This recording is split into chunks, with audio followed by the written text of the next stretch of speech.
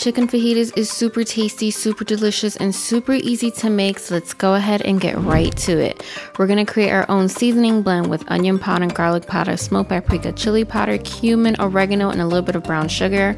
We're gonna add that to our diced onions and peppers. We're gonna set that off to the side. Use the rest of the seasoning for our chicken. We're gonna add half a lime, a little bit of oil. We're gonna mix that together until it's well combined. And then in a heated skillet with a little bit of oil, we're gonna cook the chicken in small batches because we actually want to pan fry them. And then afterwards, we're gonna very gently just saute the onions and the peppers. You want them to stay nice and crispy. And then to that, we're going to add the chicken back in along with the juices and some fresh lime to really make it nice, vibrant, and fragrant.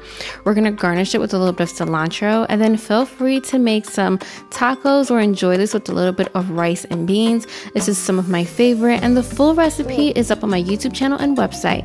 Buen provecho, guys! Mm-hmm.